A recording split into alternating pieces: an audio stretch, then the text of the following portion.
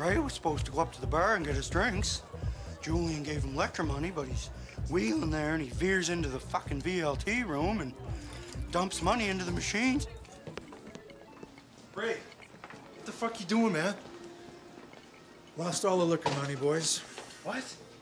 That's the way she goes. That's the way she goes? That's right. That's the way she goes. That's what I said.